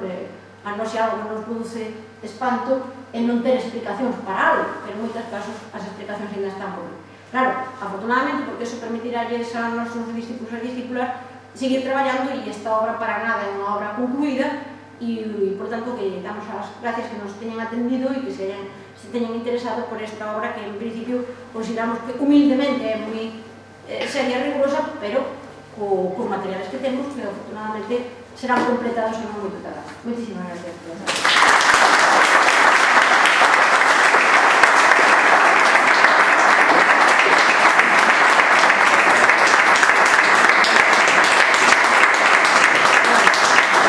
Estupendo, quedou todo clarísimo e demais, pero seguramente que hai alguna dúbida que ahora é o momento. Sí, mira, a mí me gustaría preguntarte, Ofelia, cando falas da cantidad de mulleres que teñen digamos, importancia debido á emigración a que se marchan os homens, mm, non hai mulleres emigrantes nesa época? Sí que sei, que pasa é que eh, temos eh, moito, moitos problemas de información xa para, para localizarlos a ah, os homens emigrantes non é nada nada fácil, eh? facemos casi sempre a través de, de cálculos indirectos. Eh, nunha poboación normal ten que haber entre 101, 102 homes por cada 100 mulleres, se si nós temos 80 homes, aí temos, automáticamente temos unha conclusión. Pero eh, este cálculo sería falso se si tamén faltaran mulleres. Por exemplo, eh, se si temos emigración masculina e femenina, podemos ter un resultado falso. Dicir que nunha población hai 100 homes e 100 mulleres, pero estén ausentes unha morea de homes e de mulleres. Non? Entón, é un, cálculo no que Creemos, a partir da convicción total e absoluta, de que Galicia ten un modelo migratorio esencialmente masculino, precisamente porque elas son absolutamente necesarias na casa porque eles non están. Dito isto, eh, sabemos perfectamente que no século XVII, por exemplo, o servicio doméstico en Madrid, en nos mesóns, eh, e, digamos, entre comillas, a hostelería, era eh, galega. Eh, eh, Quevedo, Lope de Vega, eh, e despois outros autores menores do, do teatro barroco, reflecte moi ben o papel das criadas galegas en Madrid. En no século XVII un eh, servicio doméstico bastante pouco cualificado, era sobre todo eh, as que se dedicaban a asumir nas, digamos que aos equipaxes, eh, traer, non eran cociñeiras, nin era, non se dedicaban a oficios finos, entre comillas. No século XVIII, no servicio doméstico de Madrid, é unha profesora francesa que unha tese de doutoramento en que revela que prácticamente o 30% do servicio doméstico madrileño era de orixe galego. Volvemos a, outra vez a un, eh, non servidoras moi cualificadas, non? as cualificadas eran basicamente as, as vascas, que eran as cociñeiras, eran, solían de vascas, e as galegas dedicarse a oficios máis ben de, de servicio de cociña, rarísimamente eh, son doncellas, pero cantas, nos para o século XVIII non chegamos a saber cantas, non?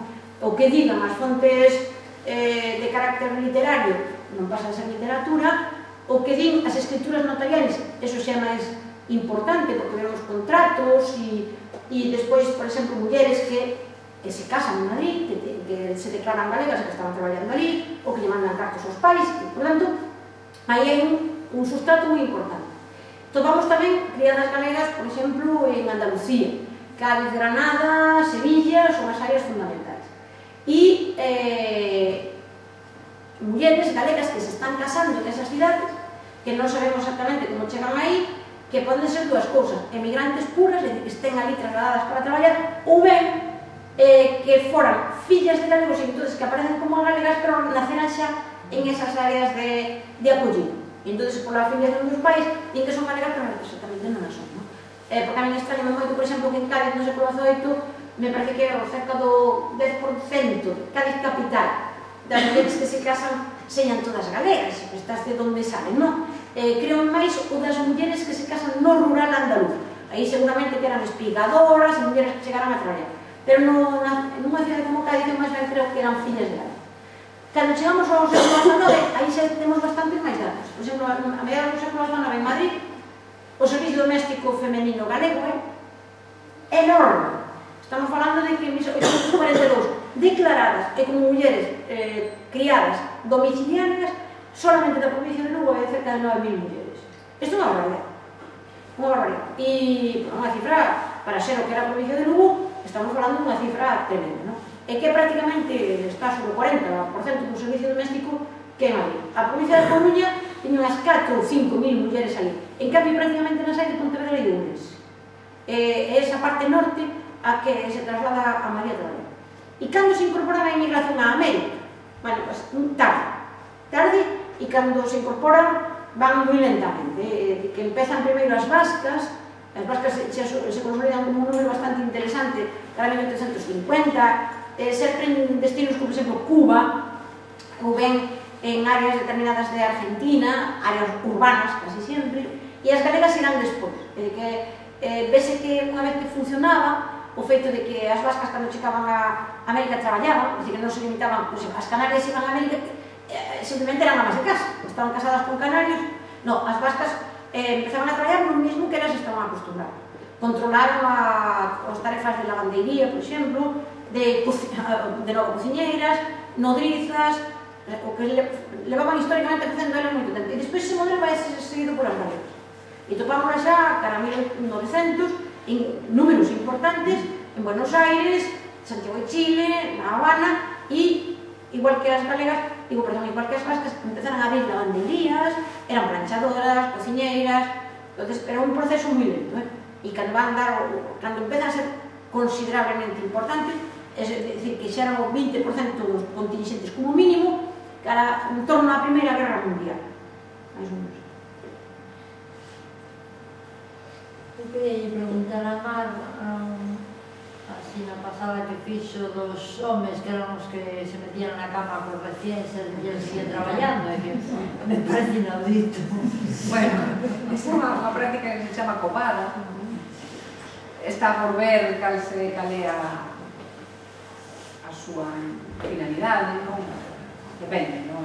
pode ser un reconhecimento de legitimidade ás veces ese é o meu fillo eh, pode ser eh, en general, eh, non falo estou falando aquí pode ser ás veces en alguna población pois, así, exótica, eh, como os homens un pouco son máis fortes eh, e entón protexen o, o, o recién non? de posibles malos espíritus que a parturenta pois, estaría en defensa Eh, hai autores que consideran que, por exemplo, esta práctica da cobada estaría vixente no norte, nesta zona norte, eh, no século XIX eh, non está nada claro non está nada claro eh, ese tipo de prácticas arrincan destes textos e son cousas bueno, que como pasa moitas veces non, todo o mundo di, pero ao final cando vas e di, bueno, e donde o di? Oh, non sei, dixo non sei quen a este dixo non sei canto, pero ainda por exemplo non, nos eh, nos, non sei non exactamente eh, que autor é Cabo hoja, me parece que recolle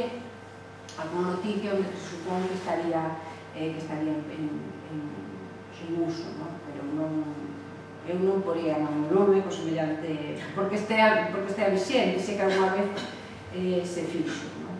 Eh, pero toda, toda esta, todos estes textos estaban un pouco na mesma liña. As mulleres eran extraordinariamente fortes, eh, e, e o que facían eran, estaban pues, traballando na terra, ai, onde parto, ah, sí, para, ah, toma, levo que eu teño que seguir. Eh, o que estou eh, facendo. Non? Bueno, esperamos unha millón grego, máis ou menos, eh, pero vai todas as, súas noticias van un pouco nesta, nesta mesma liña. Non? E todo eso son cousas que nos textos se pode avanzar, eh, nos textos pues, en a veces, non todos, eh, por exemplo, risco non admite para nada que houbera nunca matriarcado en Galicia, nunca. Eh, os outros autores, ah, ya, mandan así con cote, cote, insisten sempre nesta visión non? de mulleres, fortes, independientes, capaces. E, de feito, hai un estudo sociolóxico que todos nos anos 90, onde este modelo de muller rural indeterminada, rural en general, segue sendo un modelo de referencia para as mulleres urbanas. ¿no? Modelos de independencia, modelos de capacidade de, non sei como, dicilo, autogestión, casi se, e, e, e, de autarquía, non? de lavar a casa, sigue sendo o modelo de referencia eh, nas mulleres, nas mulleres urbanas. Pero para mí que non. Os, os cronistas do século XVI eh, fan referencia a Covada, eh, elas parían e eles berraban. Sí, porque é unha mistura, é unha mistura de admiración e salvaxismo. É dicir, son admirables, pero están a monte de galado. ¿no? O, o resumen da, do, do asunto, non? Desta, destas perspectivas.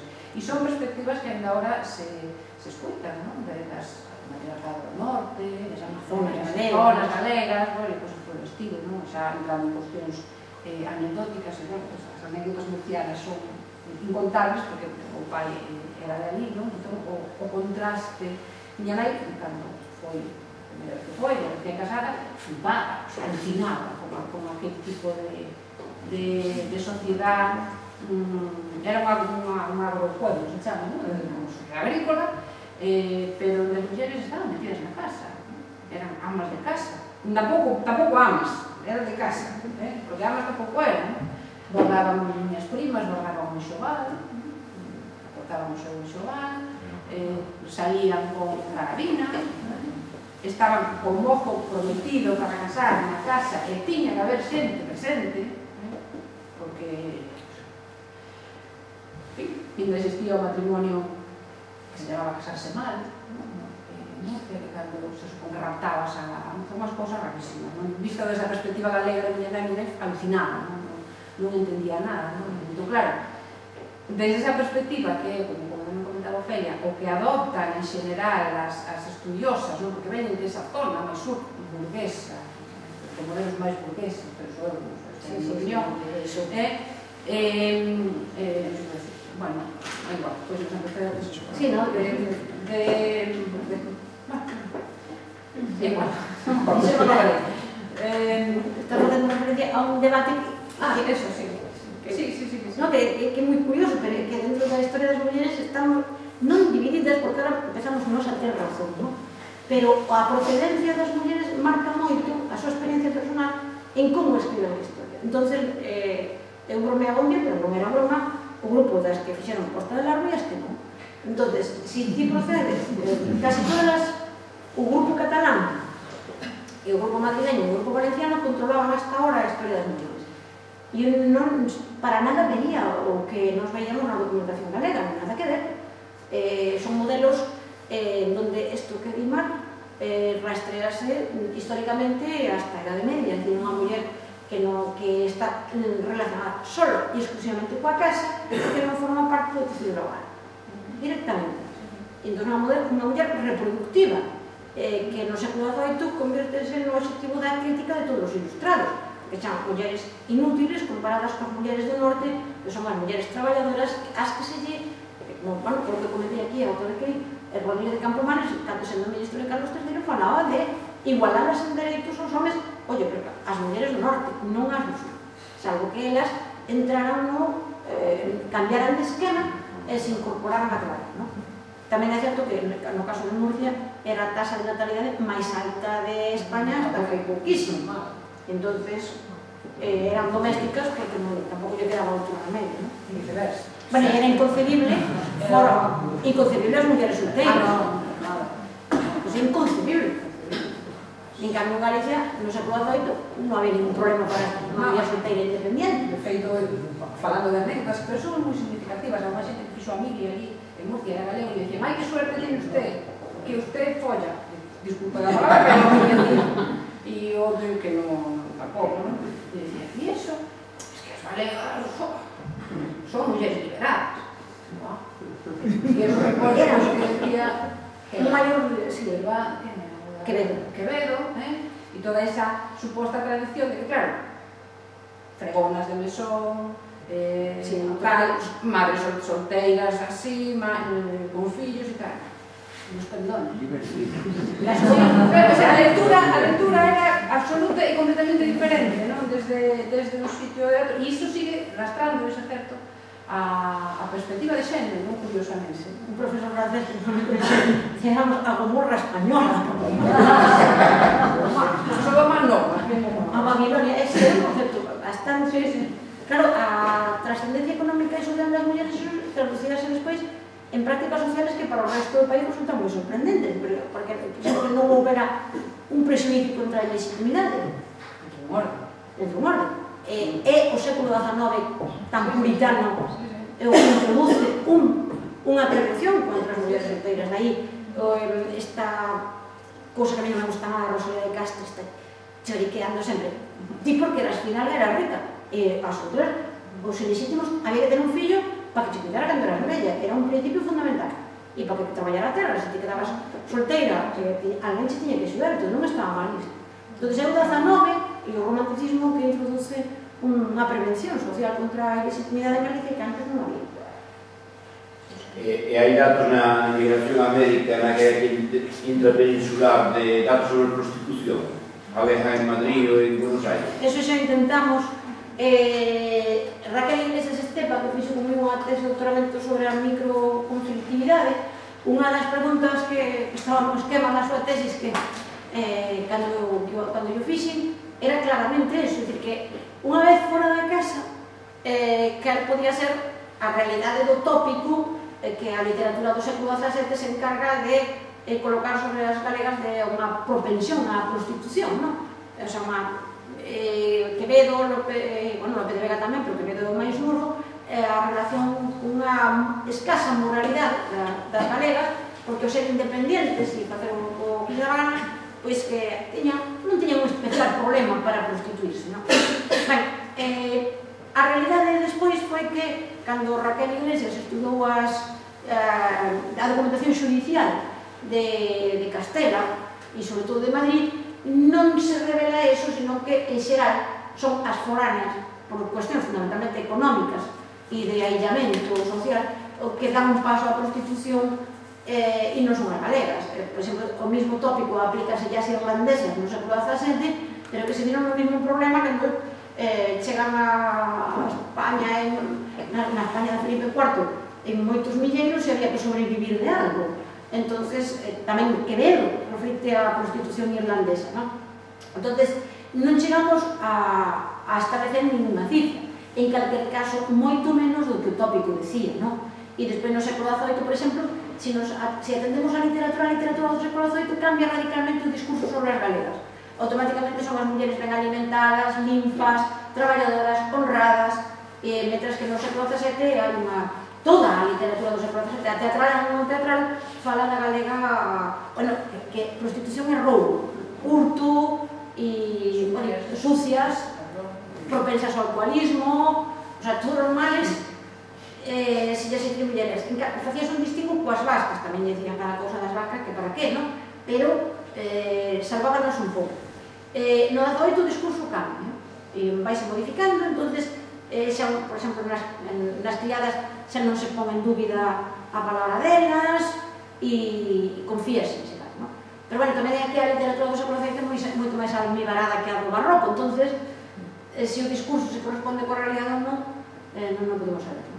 E, e na América, creo que en, o principio que pasou foi que o mismo tópico que había aquí aplicaselles a ela. E en parte porque o que sabemos é que, mm, por exemplo, antes de, da, da Primeira Guerra Mundial, eh, un dos contingentes femeninos máis significativos que vai a América son mulleres embarazadas que iban a dar a Rosalía e traballar como nodrizas. Eh, eso identifica normalmente con solteiras. Ollo, que solteiras e casadas. Era unha forma de traballo entonces e, eh, cando chegan ao laboral eh, identificábase automáticamente embarazo, solteiría, propensión a prostitución. E iso non tiñan así. Era simplemente, iban, elas iban a traer como no iban. De feito, quedamas ali, pero non retornaron. De feito, uns, cartos volvían. Pero un, un tema no que, no todo que concerne a prostitución e, e, as, e xeral, todo, porque a prostitución é unha cousa moi definida, pero hai un espacio entre a prostitución, a prostitución eventual, que tamén se rana atopou, en casos de, de pauperación dunha familia en un determinado momento é incontrolable, non, non temos forma de saber eh, cal era a súa importancia. Mas aquí temos un caso moi específico, que é o caso de Ferrol, que non, non sei se comentei aquí no día que... No, é que en, na segunda metade do século XVIII, Ferrol conviértese no maior espacio de población militar de, to, de, toda, de toda a península. E un dos maiores arsenales de Europa. 27.000 homens vivindo ali ao mesmo tempo eh, e mil mulleres censadas entre mil e 1.200 entonces o problema da prostitución foi un problema inmediato que as autoridades militares non sabían como controlar ¿no? entonces eh, en esa maior parte das mulleres que, que aparecen en Ferrol nas sobre o 18 son de fora. Pero cando carros un pouco hai un sector andaluz pequeno, pero fundamentalmente son galegas. E galegas de idade moi nova. O que preocupou as autoridades militares e o informe pavoroso dos anos 80 é que a mirante parte delas non chegou aos 15 anos. O será prostitución femenina, infantil e consentida polos pais. Clarísimamente consentida. As autoridades eh, a, interven a Iglesia, interven o Obispo de Mondoñedo, eh, pero bueno, que non era, era tratar de poñer portas ao que era imposible crear, porque 17.000 homens acantonados en simultáneo.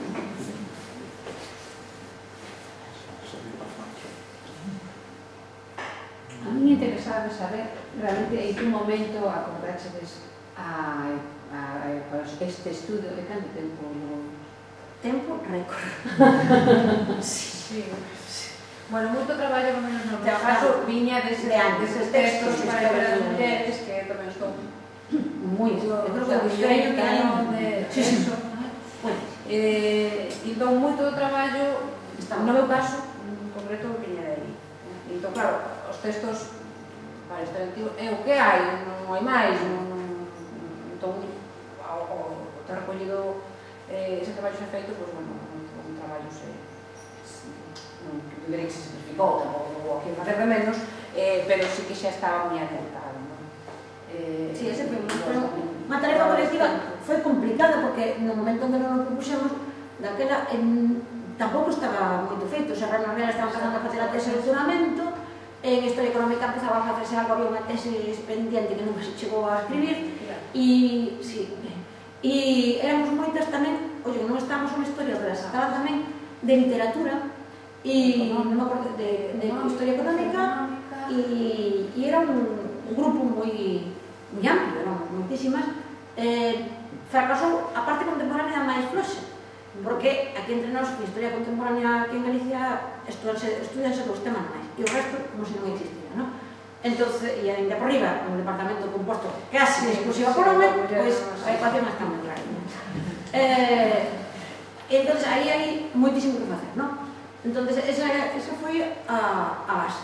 Despois, sí, 90 e algo. E aí quedou si por aí. E despois fixeronse varios teses de doutoramento en historia medieval e en historia moderna que permitiron avanzar moitísimo. moitísimo. No caso de Sabana Real, unha tesis tan tremenda e tan estupendísima que prácticamente o resolvía todo, non? E, entonces, eh, en un determinado momento, Miguel Andrea nos propón a Serrana e a mí facer a historia das mulleres en edade, na edade moderna, que sudamos, tinta, porque hasta decir que sí, porque nos parecía un pouco arriscado, porque había determinados planos que non considerábamos que tiveramos todo o control, sobre todo era moi arriscado falar en materia cultural. E, pero fixémoslo, e saleu bastante ben, e a partir de aí fixéronos unha proposta e creo que fixemos en, en cantos meses. Ahora, eh, tres, catro meses. Ti fixe a primeira, non fomos a segunda inmediatamente, fixo todo en menos de medio ano seguro. Sí, sí. Seguro. Non, se fora con homes imposible. Claro bueno, pois se non hai ninguna, máis, ninguna pregunta máis, pois damos por concluído a sesión de hoxe e o ciclo. Recordamos tamén o, o acto que temos previsto para o Benres. Beijo, para ti. é que non estou aí moi. Nah, eh, eso, o que ten de ser do cartelín ese de... Sí. Recomendo, porque aquí xa estuvo unha vez aí Estuve, non estaba no grupo inteiro, vedes aí, sino que estaba estaban primeiro desenchufados e non eran todos que é Xardín Desordenado estuvera aquí na presentación do libro de Pepe Cácamo dos topónimos esdruxos, e presenta un disco con 16 cancións de 16 poetas homens oh.